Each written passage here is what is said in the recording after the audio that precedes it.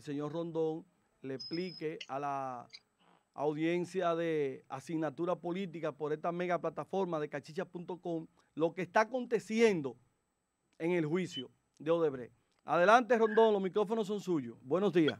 Mira, como, como tú lo, dijiste, efectivamente, el Ministerio Público empezó con mucha fuerza este expediente, que, eh, que Perú le iba a quedar pequeña a lo que iba a pasar aquí.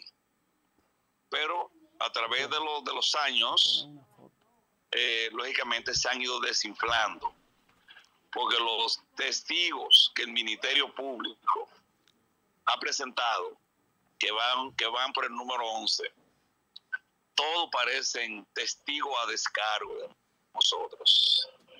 Y digo de nosotros porque debo también hablar, porque también eh, han, no, han, no han encontrado ninguna vinculación mía con ninguno de los imputados, ni de los ocho que archivaron definitivamente, pero mucho menos de estos cuatro. O sea, no hay una vinculación directa que tú puedas decir, bueno, eh, este, estos imputados tienen problemas porque los testigos que han presentado el Ministerio Público han testificado con prueba de que hay serio problema. Eso no ha, no, no, no ha acontecido aquí hasta el día de hoy. Pero tampoco va a acontecer. Ellos no tienen forma de, de, de, tener ninguna prueba. Y fíjate que el Ministerio Público ha dicho que los abogados con su eh, artimaña quieren eh, retrasar este, este proceso. Pero no es verdad, no son los abogados. Es el expediente del Ministerio Público que fue mal elaborado. Y por eso no hay forma de, de concluir. Yo, yo no sé cómo se la jueza cuando se detienen a deliberar. Yo van a decir, mira, no vamos a ver, nada de esta pendejada, nada más denme la prueba sencilla que es lo que, que impute esta gente. Y no va a aparecer nada, porque no han podido presentar nada y no, no pueden presentar lo que no hay. ¿Tú entiendes? Además, ¿tú crees que, que un ministerio público con una, eh, eh, con una prueba fuerte, como dicen ellos, le van a proponer un acuerdo a, a, a, un, a un imputado? No, no lo van a hacer. ¿Tú entiendes? Sí, correcto. No lo van a hacer. Ángel. Entonces, esa es la realidad. No, ellos óyeme, no, tienen, expediente. Óyeme algo, Ángel. Dímelo. ¿Qué pasó?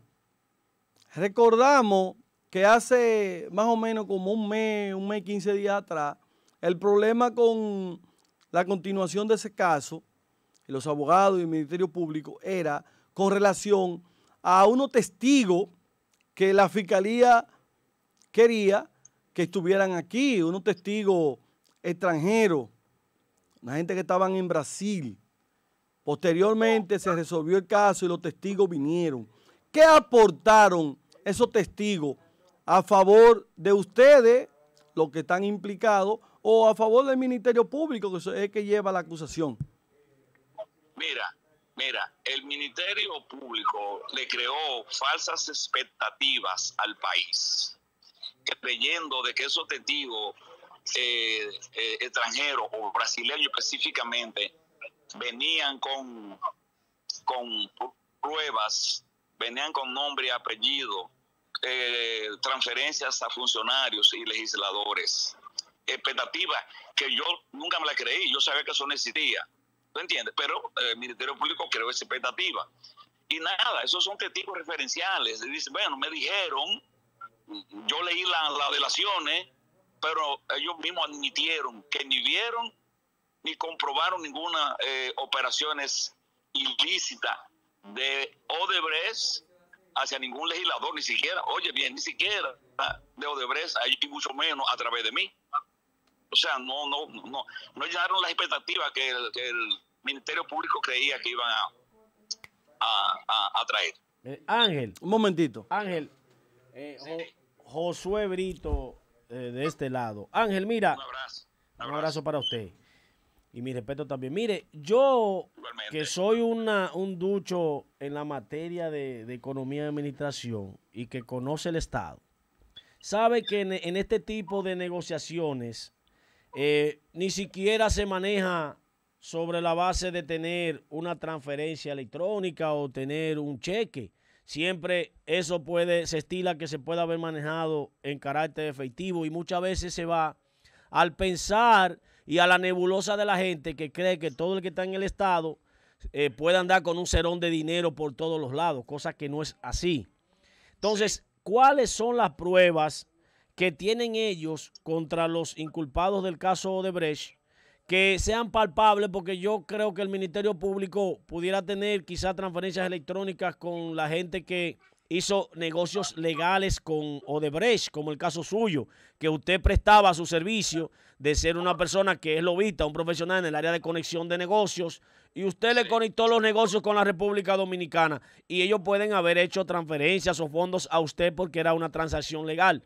Pero con lo y que a usted por eso no lo pueden enjuiciar, creo yo. Ahora, a los demás que están siendo también ahí eh, enjuiciados, ¿hay, ¿hay rastro, hay alguna alguna cosa que lo implique, porque yo no entiendo eso.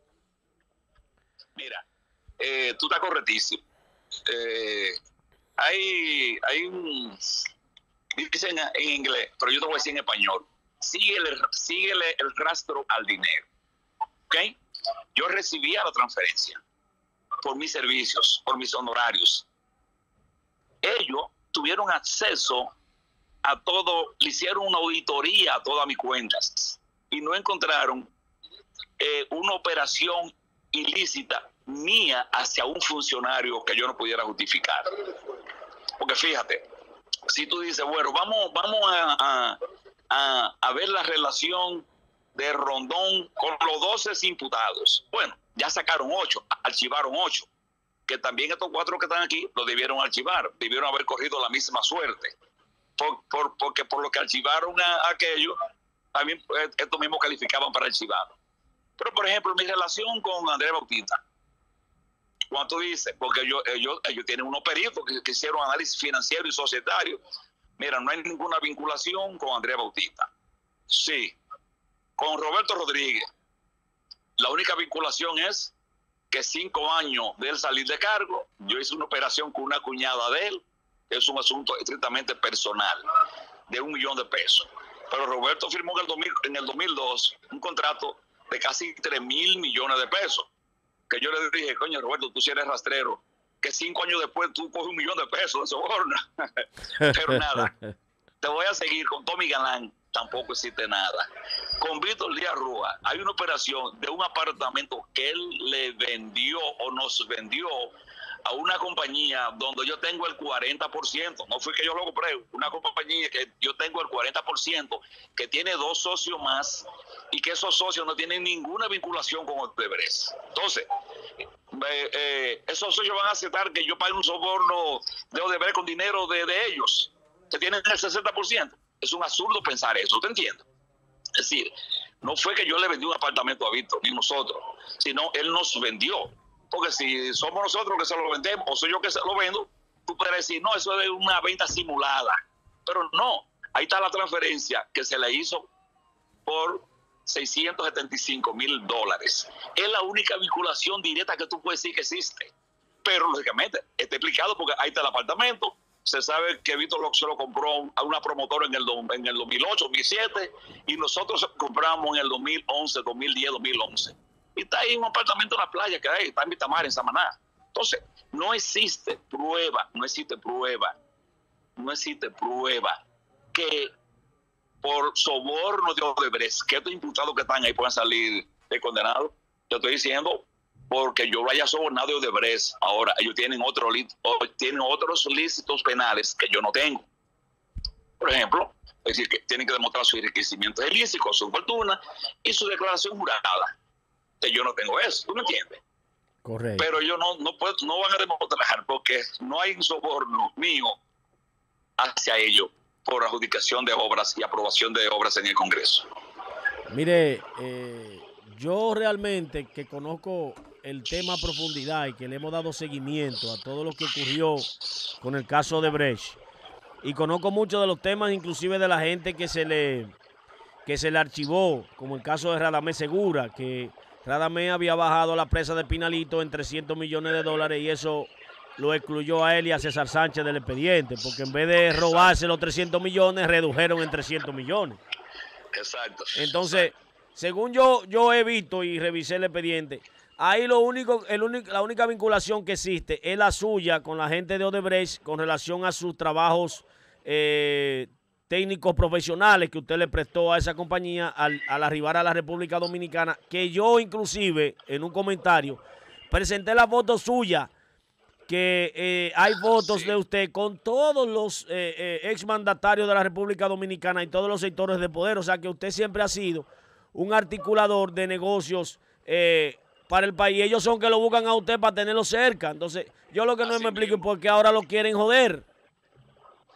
Mira, eh, en este pendiente, sin lugar a duda, que es un problema con un matiz político, se originó con un matiz político, con un, matiz también de competencias internacionales, porque indudablemente que Odebrecht, eh, por pertenecer a un país, y ese país indudablemente que fortaleció su ayuda a los países subdesarrollados como el nuestro y le ofertó financiamiento pues lógicamente le daba esa facilidad y esa amalgama de ellos expandirse en, los países subdesarrollados y hasta países desarrollados, porque Odebrecht trabajó en Estados Unidos y sigue trabajando en Estados Unidos. Pagó casi mil millones de dólares de multa por sobornar en Estados Unidos, pero en Estados Unidos no hay ni siquiera un acusado. ¿Mm? no hay ni siquiera un acusado y sigue trabajando allá Mire, eh, al parecer, le voy a pasar el teléfono a Montero, pero mire, eso también decíamos nosotros, como si manejaron 30 mil millones de dólares en obras en Miami. Allá, Odebrecht era, era seria allá y era irresponsable en Latinoamérica. Se cayó. Se